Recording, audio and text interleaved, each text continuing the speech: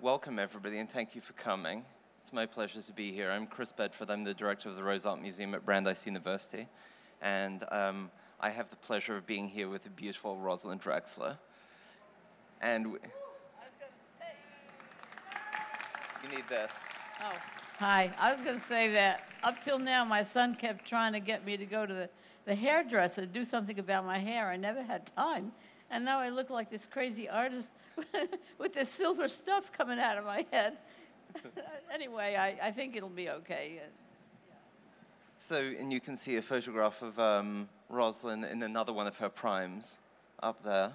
And uh, the, the Rose is very, very fortunate to be organizing Rosalyn Drexler's first retrospective exhibition that opens um, in the spring at the museum. So I expect to see all of you there. Um, but this, well, this afternoon is about hearing from Rosalyn. So I'm going to proceed with some with a few leading questions, and hopefully we can wind you up and you can, they can, you can tell them all about your work. So um, up here, you can also see, you can see the Oh, image that's that's on the right. screen Oh, right there. Um, is Oh, an that- incredible that- painting, The Defenders from 1963. There's an interesting story with that, but there might be an interesting story with a lot of my work. I mean, it's a personal story about um, someone uh, dear to me got involved in um, drugs and stuff. And uh, to pay the lawyer, um, I had to give him this painting. So this painting did good right from the beginning. And then luckily, I was able to uh, have the painting returned to me. So that's the painting you see there. Um, violence still going on. And um, what more can I say about it? It's right there. Could, could, you, could you say a few words about the process that you use to make these paintings? The protest, the protest, the, uh, the progress, uh, anyway, what I do How you make them. I find the image that, that interests me. And then uh, I imagine it on a, on a space of a certain size. And then I work around it on the canvas. And I order canvases of different sizes so that I can really see how the picture works on, on a certain uh, uh, uh, space. And um, you know, sometimes it's tighter, sometimes there's more space and bigger. It depends, and it also works emotionally on the uh, subject matter, uh, the, the size of what you do. Because I've, I've also done small things that, that had a very big feeling. And um, so that's, that's what I do with that. And then I just paint over it. Uh, it's as if I'm uh, actually burying the image for future ex- excavation. exo, you know. So uh, the original image is there, and it's uh, being kept and saved for nothing really. But I, I work as as the saver of this image by painting over it, and uh, gives it another life and, and, and another skin. So, so I'm interested in the relationship between your work and, say, the history of appropriation in painting. And so rather than find an image and paint from it, you paint on top of things. Yes, I, I do. I, I, I, I do that. I, I just I use it as my material. It's like found object. Well, found object, I don't do anything on top of it. I just add and take away. And um, but this is I let it. In other words, I let it live, or it lives more, when I when I uh, uh, paint over it. But the intent the intent of what the image means is mine. And sometimes I'm surprised. I think I'm just doing um, a painting and it's violence or it's love. But then as I, as I look at it, as I work on it, uh, it, it has more meaning. It, it, it changes. And um, it's, very, it's very changeable. So this painting, The Dream, uh, 1963, is hanging in, the, in Garth Greenan's booth, very nearby here. Um, so could you say just a few words about the content here, what you're doing? So the, the, the woman in the foreground at the bottom, and then the uh, rampaging gorilla whole- in the top section. I'm going to try to think about it now. It's a whole romanticization, romanticization or something, of of uh, violence, and also the the um, the love that a beast can have for a, creature. This time, the creature is a woman, but but still, she's she's certainly scared out of her wits, as she doesn't understand this kind of beastly love that exists. But um, I think he's going to win over, and of course, uh, he's an action guy, this gorilla, and he's not a word guy. So he's um, he, he's kind of tearing things up. And uh, but his object is this woman who's terrified of him. And right now, that's all I can think about it, except that there's a lot of blue in it. I like the blue. So, but, but I, you know, another thing that interests me is, you know, there's a real preponderance of sort of hot, hot subject matter in your work. You know, violence, love, forbidden love. Yes, it's as if all this actually happens in the newspapers and magazines and not in real life. It's like one step beyond. It's as if the real thing happens just so it can be appropriated into a, an, a, a, a reminder. It's like a, a book of, of, of, reminders, all of these things. And I take the reminders and I add my own, uh, my own uh, impetus of what it means and what's going on. Um, so, and uh, sometimes I have like small ideas, like in this, um, I have the, the movie sprocket. I don't have the sprockets, but I have the movie action going on in the center. And then other people who are in this particular action on each side.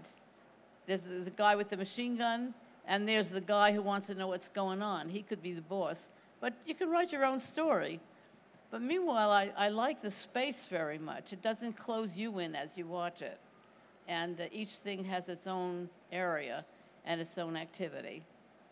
So the element, and this is in the collection of the Hirshhorn Museum, I think. I could be wrong. Uh, I believe yeah, I'm looking yeah, to. no, you could be wrong, but this time. I think in this instance I'm right. It's rare, right, few and far between, but I think Yeah, I'm right. right. Um, but I'm looking at the element in the center, and it looks literally like a, uh, a film reel. And then again, there's this emphasis of blue on either side. So were you thinking about the legacy of American painting and trying to, you know, mid-century American abstract painting, and trying to join that to popular culture through this I, work? I never thought of joining anything. I mean, I was always an outsider and uh, laughing at my own ideas. And um, I, I didn't really relate to, um, to other painters, other, even, even, even uh, other pop painters. Um, I was just relating to my own imagination. Although you have to be aware somewhere in yourself, hey, what else is going on around here? I mean, I'm, I'm not pure. But basically, I, I didn't wait for cues. I didn't wait for a cue from what other people were doing. It's interesting because um, I think one could make an argument that the most significant artists in the history of art are neither one nor the other. So um, Ellsworth Kelly, for instance, he isn't he isn't a minimalist. He isn't a color field painter. He he is just Ellsworth Kelly. He's taken parts of different sorts of idioms and he's made I- his yeah, own. I've seen a lot of his work, yeah. And so, so when I look at your work, I think an easy categorization is to say it's pop. But that's only one aspect of what you're doing. I think, I think Alloway uh, invented that term of pop. At, at one point, it was called the New Realists, and then there was something else it was called. And, uh, but pop stuck because uh, it used uh, popular objects and things, modern day life, uh, in, the, in the artwork. And, but it also um, um, implied that it was cold, uh, that it was just the object, just the painting, and uh, without any emotional content. Uh, that, that was a no-no. So I know um, certainly Lichtenstein was that kind of a painter. I love his work, and I really enjoyed his company too. We were in uh, Provincetown, and his sons went fishing, brought the fish back. Roy, Roy made the dinner. We all sat down and ate, and then he showed us paintings that he made when he was a teacher. I said, and in my mind, I think, boy, this this guy isn't going to go very far. I mean, this is terrible stuff, you know. But he must have thought so too because he changed. He uh, he did that um, Mickey catching uh, something. Uh, what? Yeah. Look, Mickey. Look, Mickey. Look, Mickey. Yeah, that was his first sort of wobbly beginning of what he was really. And um, so I I didn't want to talk about Lichtenstein. I miss him, but uh, then there was Andy, and, and Andy was triple cold, you know, triple, quadruple cold. And uh, that was opposed because he's a very sensitive guy, very quiet. Um, his non an, non answers and face, he was imitating Marisol. He, uh, I know he, uh, he and Ivan Karp decided that that was the way to be. He was very clever to uh, mumble answers, to not respond, and to only live in, in your own troubled past. But Andy carried his troubled past with him. I mean, he always had his mother living upstairs. And, and that's, who, that's really who he answered to. And uh, he was mama's boy, uh, but who, who played, played uh, m- man of the world in a very odd way uh, downstairs. Um, you know, I mean, everything to Andy was marvelous. I mean, it was actually marvelous, and it was marvelous when he couldn't think of anything else it could possibly be. It was always that. So I remember uh, we took some photomatic photos, and we were walking, dancing down the street, and he stopped, and it was at a, a newsstand, and he looked down. I think it was, I'm not sure which series it was. He did an accent series, and he did the, um, we, uh, something. It was something like that, and he stopped, and of course, what did he? He looked at, he said, "Marvelous." you know, so uh, it must have been, and I don't know if he bought the papers or anything, but uh, he uh, everything everything seemed to happen inside of him. Uh, it wasn't something he found actually, even though he found it.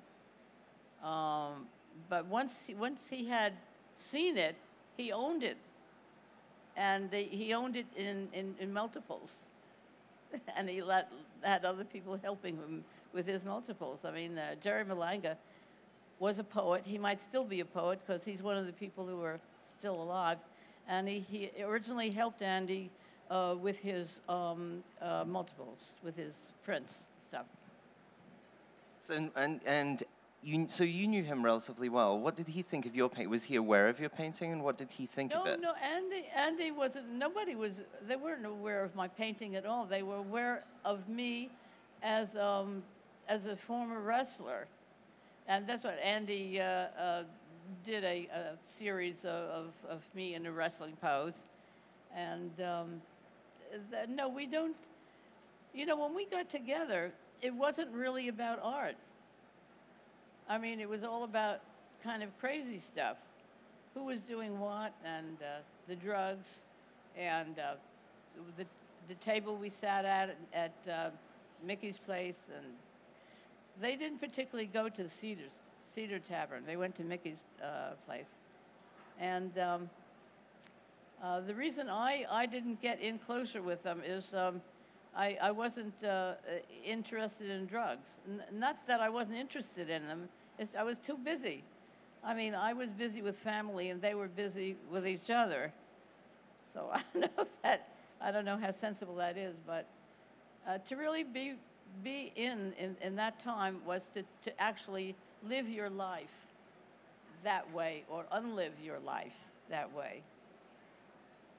And so, so I furiously went through my slides trying to find um, the Andy Warhol album Oh, of oh, a Matt yeah, from yeah. 1962 here. So, you're, so he's making this right around the same time as some of those um, early large-scale collage paintings that we were just looking at. So, um, how, how, did this, how did this piece come to be? How did he, how did he approach you um, to create this don't know- object? I don't know how he got a hold of it, but um, I found the uh, the original little little book. I don't know what it's called, with with the pictures of me in it like that. Um, yeah, oh, there there it is. I I, ha- I have I shouldn't apologize, but I do apologize to the sensitive people in the audience. Uh, uh, this. Uh, this, but this did happen. Um, I, I think I thought I was gorgeous. I was young and I thought I was wonderful. But, but when I was really young, I thought I was ugly. So go figure. Anyway, um, I think it was my, my sister's husband who published these magazines, and that might be how he got a hold of, the, of my pictures. Um, Um, yeah, I, I took them. Uh, if you notice the old-fashioned garter belt, that was a real turn-on at one time. I'm sure it's coming back. Maybe it just came back. yeah, but it depends who's wearing it. exactly. so I know we're here to talk about your art, and I don't want to dwell on the wrestling, but it's a question that everybody asks. So um, could you say briefly how that happened, how you became a wrestler, how long it Oh, lasted, oh, and, what, and what was your and what was your interest, and then we'll go right back to the fine Look, art. look, sometimes I've done things that I have absolutely no interest in, but other people have an interest in it. And um, I think that, that the wrestling thing is like a sadomasochistic example of modern life, whatever. But uh, no, we lived in a neighborhood uh, in, the, in the West 40s in New York, um, and there was a, a, gym there called Bothner's Gymnasium. And that's where all the circus people worked out, the business people. I mean, there was one guy who came there all the time, and uh, he, he, he worked on a, a one wheeled bicycle, but his wife was on his head, upside down, with fitted into sort of a donut contraption. So she's upside down on this, and this guy is doing his exercises on his one- uh, unicycle, I suppose you'd call it. So that was going on. Front of the window, there was this, like, as the length of this, at least, the length of this, uh, a, a mat. And then that's where the, um, the midgets and, and, uh, and dwarfs and stuff practice their, uh, their acrobatics. I mean, they did all sorts of amazing things right on that mat because they were part of the circus. And they do, that would go on all the time. Um, there was a lady who came in. she, uh, uh, uh, she was, must have been a former ballet dancer, but they hooked her up to something from the ceiling. She had special rice powder that she put on her face, and a tutu, and little ballet shoes, and she must have been about my age. And, and she would come there at least a couple of times a week. A couple of times a week she'd come there, and she'd do her, jetés, and have supported in midair this, this woman. And that was going on in that gymnasium also.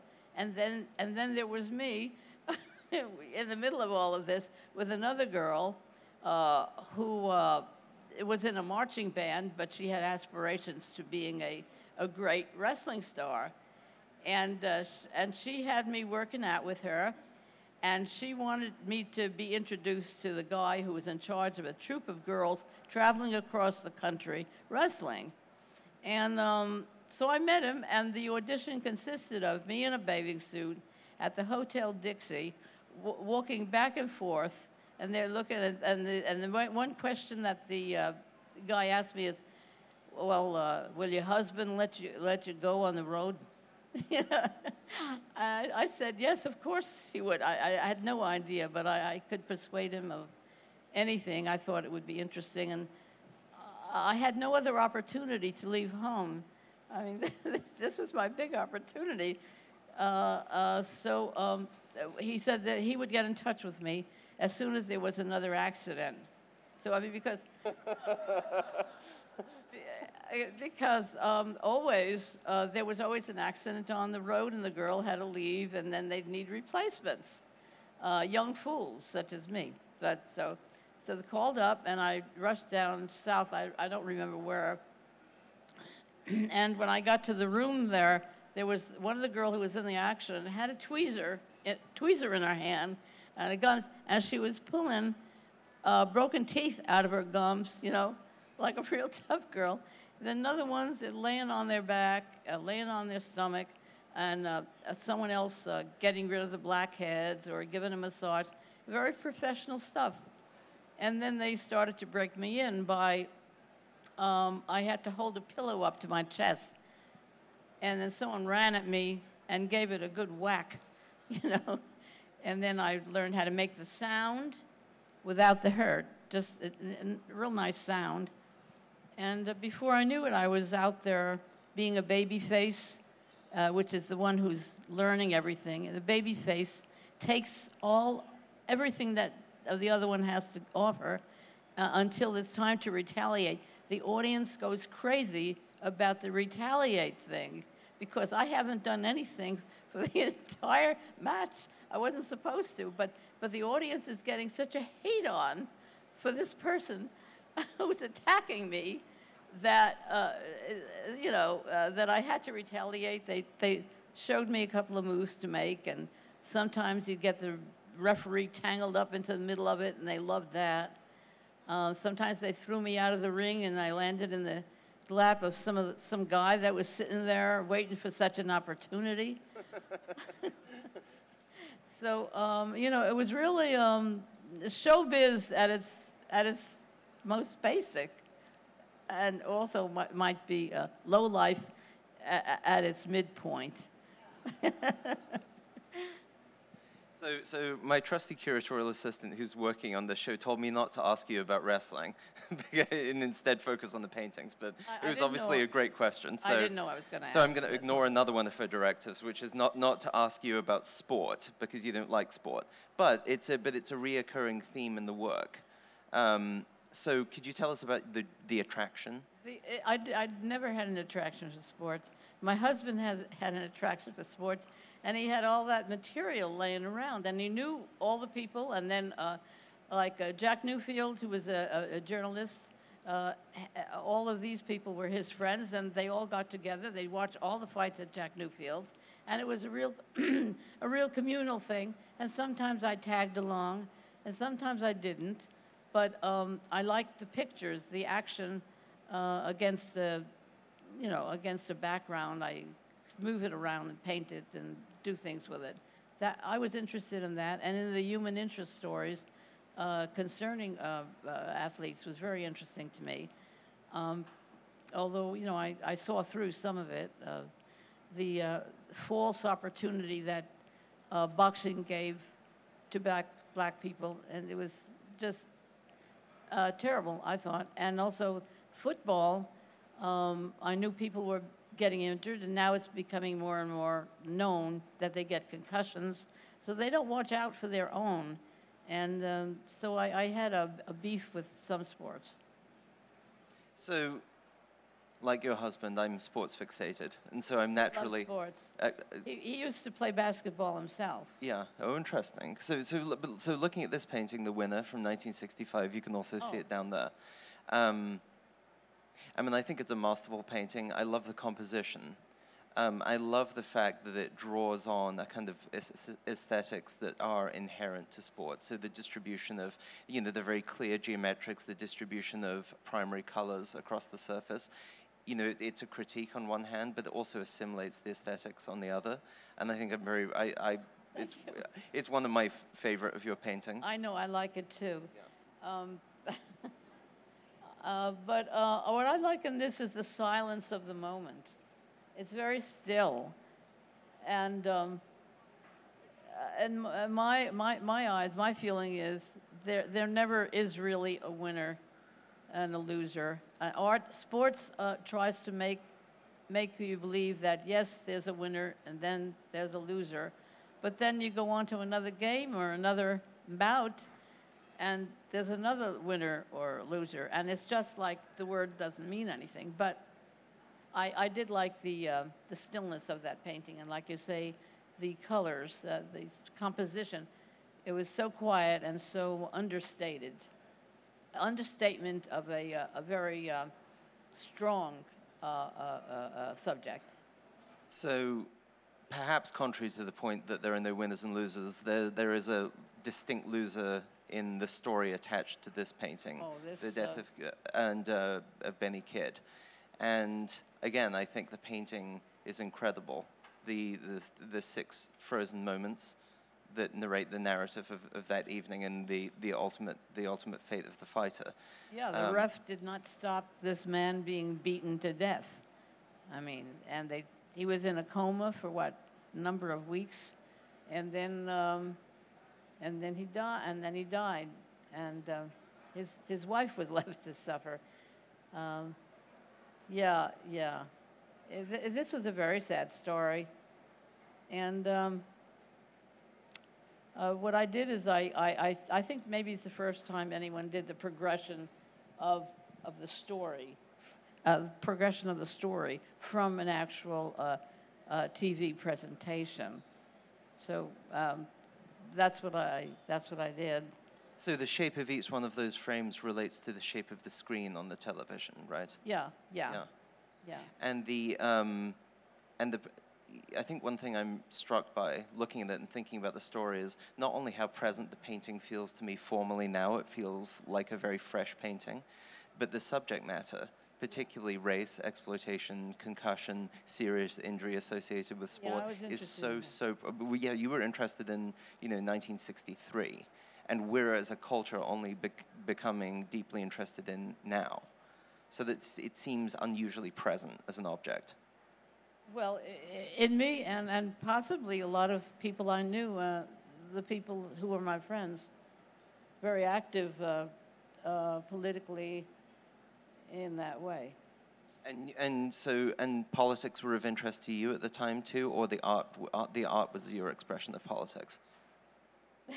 Oh, you know, uh, together, together, uh, uh, like a painting was uh, a a serious occupation, and, and, and politics was serious in another way, but it was also very social.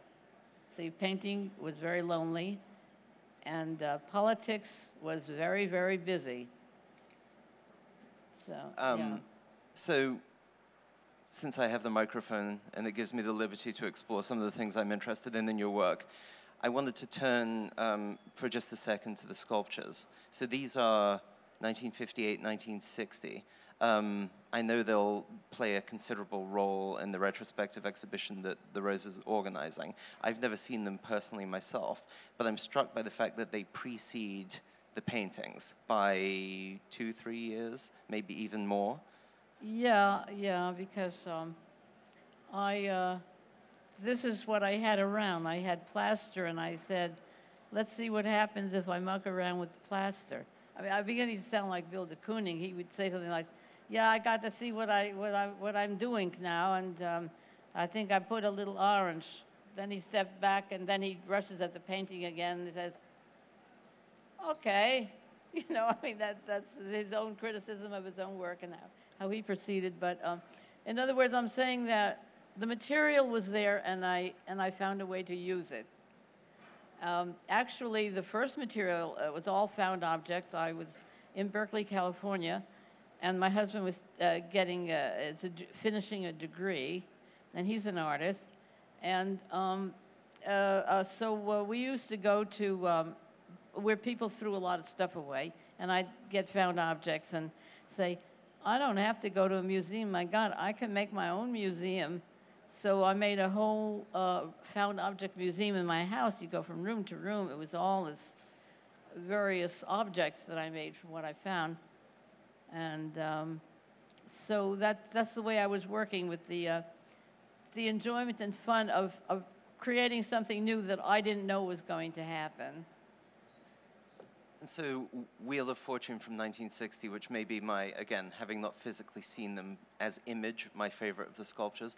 And I wonder how this related to people like Oldenburg and what they were doing and their use of Yeah. comparable um, materials. Because, I mean, my art history may be failing me, but I don't think so.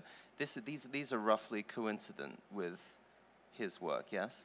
It is a, it is a coincidence, and um, like we went to the store together that he created, created the store, and uh, uh, was in uh, my daughter was in his happenings, and so we were all conscious of each other, but in a very warm and friendly way. I mean, there was no idea that anybody was going to be famous or make it big. Everyone was just really going from from the center of themselves and uh, let let it just roll. Of course, Claes is a fantastic artist, and um, his early work I, I really love his drawings. He's a terrific drawer.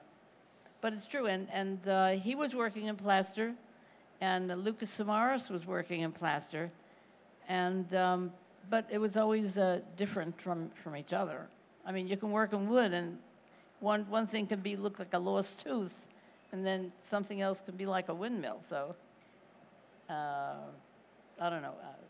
So you, you're still painting, of course, and we'll get to some of the later paintings if we have time towards the end of this presentation. But sculpture, do you have the itch to return to three dimensions? I- I don't, I no, I don't, ha- luckily, I don't have an itch for that. Um, But I think uh, I, I have that feeling, I think I do, to, uh, to make sculpture, but different kinds, I don't know how or what, um, of sculpture. You know, it's a shame that I couldn't keep moving and taking all of my sculpture with me. It got to be big and heavy, and a lot of the work I just left in empty lots and, and, and things like that. So um, I'm, I'm glad that I have, I'm glad that I have something that I have. Um, It's, it's, it's representative and um, there. Maybe something will turn up someday, but I, uh, that, I, I stopped doing it maybe because it was, there was no room for it, physical room. I don't know. So what we have at the moment on the screen is a picture, an installation view from the Reuben Gallery from 1960, and I'm really struck by the pedestals. So were they your design, your conception? That was a m- mode of presentation you were interested in for your sculpture? Oh, no, well, you, uh, I, I have no idea, but I know you have to put something on top of something, you know? I mean, I think you, you, you had um, good impulses, good taste, because the, the more I look at the sculpture, the more I look at the pedestals, again, the more present they feel to me right now, as if they could have been made yesterday, which is always a, a good Oh, sign. I, I see. Well, I, I didn't know what you were getting at. Um, uh, they were useful to me. There's Claes looking at one of my garden things out of uh, plaster. he seems to be li- pretty serious about looking at it. yeah. So, um, And, ju- and two more examples here pink winged victory and white winged I victory. like color very much, and although the wings, uh, a wing of Samothrace, uh, victory wing, uh, is is okay if it's all white like that. Um, so, briefly, I think we could, I can say pretty conclusively that you are a Renaissance woman of the highest order. You've done many, many things throughout your career as an artist. You've been a writer, you've been a playwright, um, you've been a visual artist. Thank you. And um, it would be difficult to give a total synopsis of that here, but, you, but, but, but, your, but your work as a writer in particular has always struck me. Um, Oh, so yeah. not only did you write the books, you designed the covers, which are the, have a kind of quickly iconic effect. And they're actually stacked in Garth Greenan's um, booth, and I noticed people looking through them. So could you talk a little bit about your career as a writer and um, what life that has for you now? Oh, this is like a personal story. Again, um, I, I've always written. Um, in my soul, I feel like I'm a writer and I'm telling a story. Uh, the narrative is important. Actually, the narrative is important in my painting and, always has been. Um, so, um, the narrative that reminds me is that I, my mother and father used to have big fights. And um, they, they just, it disturbed me. And um, so one night I just wrote down as much as I could, word for word, the back and forth arguments that they had. And I presented it to my father in the morning with his breakfast. I said, This is what, it, what you did, this is how it sounds. And he took it and, he- and he, uh, he got rid of the whole thing. We, we had dumbwaiters in those days, and you, you used to put the garbage out and pull the strings, and then the dumbwaiter went down. So all of my, my writing and, and my rebelliousness and my sadness went down the dumbwaiter.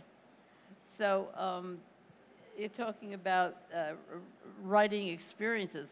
I also have an, uh, an art experience with my father um, that um, I was a very little girl, I don't know what age, and um, I, I copied something or traced something and I brought it to my daddy to say, oh, look, daddy, look what I did. Look at this picture I made. And he, he looked at me and he said, you didn't do that. If you did that, why don't you do another one? Yeah, you know, and like he challenged me, and um, so I, I, I, I copied another one. but it's still the, the main thing that, that he accused me of was not being original. Uh, you know, so um, I felt very original and I felt very comfortable um, uh, uh, rescuing uh, a picture that I thought was really good. And that, that, I'm just talking about young childhood experiences that may or may not be important anymore. I mean, people come and people go, and then you miss them. What? So, so do you see the whole arc of your career as an artist as being coherent and contiguous? Because I, I, I'll say from my perspective, when I look at the images, um, whether it's a play that you've written that's being performed, mm-hmm. or whether it's the cover of a book or the text contained in that book, or a sculpture right. or a painting, there is a kind of intuitive continuity that I see from one to the other. And it's interesting to hear you say that you're telling a story. And I wonder whether that story spans all those media and is one thing. You're saying that you're saying that you think that there's a connection in, in all of my work that I'm retelling the same story. I think most people are retelling the same story, the one that sticks with them and the one that they haven't told or, or, or thought about in a correct way yet. Um, I think all writers do that, and, and, and uh, all painters do that for sure. But some painters overdo telling the same story, I think. Um, but uh, I would say if, if that is so, then I'm one with all of humanity because my concerns are love, violence, uh, continuation, that sort of thing, reseeding, eh, like seeding, S-E-E-D-I-N-G, the world with uh, things you feel are important, wanting change, not, and, and, and still suffering some things that will never be solved. So uh, that's good for work. That's good for art. Is, uh, is, is to suffer with suffer with the uh, uh, uh with the life that uh, still is bothering you. And you see it everywhere. It's not your life. If you see a war or a shooting, you relate to it personally. God, I wish I wasn't there, or wow, um, this is a terrible thing. And, but, uh, but also you're relating it to other things that hurt you in your life. So I think, I think pain is an important part of, of art also. Um, and I think it's interesting that, that Andy and, and, and um, uh, Lichtenstein uh, managed to have uh, no pain, but only images of it. So, well, I think that's a pretty extraordinary sentiment. And um, I think it's I think the commitment is palpable in all of your work is one of the many reasons we're doing the big retrospective show. And I would say if more of that were palpable in a fair like this, it would probably be a better one. Sorry, I'm probably not supposed to say that. But um, you know, if, if, if all if everything was subtended by commitments that deep, I think we'd be, we'd be looking at a totally different art world. So it's oh, yes. commendable. Oh, I, lo- I love the art world, and I love the mistakes, and I love the fact that everybody rushes in and it's really an amazing time. I think it's so great. Um, and also technical things that they're doing now with uh, all sorts of projections and interjections and um, whatever. And, and now you can make three, uh, uh, three-dimensional uh, stuff comes right out of your machine. I think that's amazing. I'd like to try that. So I wanted to leave just a couple of minutes for questions, but um, and the shameless self-promotion of our forthcoming exhibition can be the backdrop for the questions. Um, but just in closing, on the personal level, I, I would love to know what you think about this um, incredible upsurge in interest in your work. I think I'm correct in saying that you're 89 years old now and uh, yeah. um, there are a lot of there are a lot of museums very keenly interested in you and what you're doing. I don't think included. it's because of my age. Do you? I, I know I don't. I'm just you. I, I'm simply observing that you waited a while for it. Nothing to do with your age. Yeah, because a lot of people are disinterested in me because of my age. But um, anyway, uh, uh, what do I feel about this? Um, it, it's exciting. It's very exciting, and um, but it, it's hard to believe anyway. In fact, I'm thinking, okay, when is it going to stop and am I going to get home? you know, uh, uh, but it's, uh, It's, it's, it's like what you read about, you know, it doesn't happen, but it happens to other people. So now I'm becoming like other people. And uh, luckily, uh, I'm the same person because it, it took so darn long, you know, for this to happen in this way that uh, I'm really struggling to appreciate it. I'm struggling to realize, yeah, it's happening. But uh, tell you the truth, so many people I love are, are no longer here to share it with me that I'm beginning to feel a little selfish to have it all to myself, you know. But anyway, uh, I'll have to bear up, I hope. And for a while, too. yeah, okay. So um, I think we have a couple of minutes remaining. So are there any questions from the audience? Donna? Sorry, I wasn't prepared for the microphone. Um, Rosalyn, I wonder if you could talk a little bit about, in the context of the 60s and pop art, which was, for the most part, a very male dominated movement. Um, and, or maybe you don't agree, um, but the issue of power relationships in your work, because I think that's the thing that strikes me a lot, and maybe from the contemporary perspective, there's a couple of things, and there are many things, but there are several things I think that are speaking both to today and also spoke to the time back then, but maybe that that time wasn't as attuned to a different perspective on power relations between men and women. Um, and I just wonder if you could I- I comment on that. Yes, yes. The point is that uh, that that's true. Now that you mention it, uh, all of these people were, in quote, my friends. Uh, they liked me a lot, knew I was doing something. For instance, all the power shaker, uh, power movers, uh, Castelli, uh, Ivan Karp, um, um, uh, uh, Henry Geldzahler. Um, it was like um, it was like a, uh, no no women in and and all men men in and and, and women out.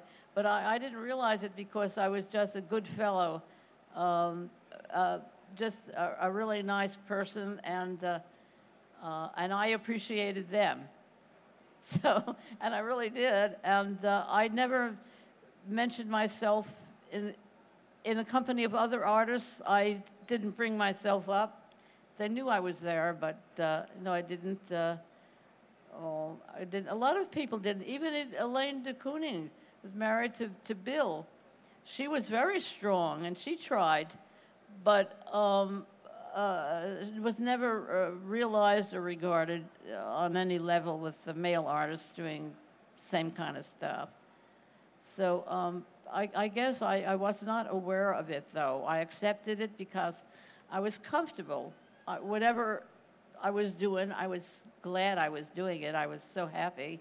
And I had family and all that stuff, and a husband who was very um, in the art world and, and loved and very intelligent. And I, and I let him be the loved and intelligent and creative artist and uh, just did what I did. I, I would go to my room, I secretly, I'd laugh, I'd laugh out loud because I was the only one th- that could appreciate or think my work was funny or good or outside of uh, Sherman, I'd bring the work to him for a critique. And he could say one word and I know exactly what he meant and then I could work on, on the painting more. But outside of that, no. Even when I did an article on women uh, uh, choose art uh, for the Times, um, I thought that I was the one who had to write about them, but I wasn't one of them for some reason. So um, it's, it's interesting, but mostly with the men, um, no, I was never, never one of that. Okay. Any other questions? Maybe one more question, if anyone has one. Okay. Okay. I saw the uh, Rubell collection recently, um, their all-woman show, and I, I was struggling to find some commonality among all this hundred women artists that they had there, and didn't really find any. Um, so, it- what do you think in terms of modern women artists and how they've been different from the generation of the '60s? Oh, I, There, there are so many. I mean, I, I can't take a full sweep of. This, I, I don't know what you're looking for in a work of art. See, I come to a work of art not looking for anything and finding it. So, uh, what, what were you looking for? I mean, like the, Louise Bourgeois, uh, pretty strong. Uh, Louise Nevelson, uh, pretty strong. And then there's um, um, I forget her name. I, I, I met her in Berkeley. She, uh, strange woman, uh, did earth earthworks, for herself bleeding into earth. Yeah, Mendieta, thank you. Uh, and uh, th- there's another kind of a woman artist. So I don't know who you were looking at. Uh, what were you looking for?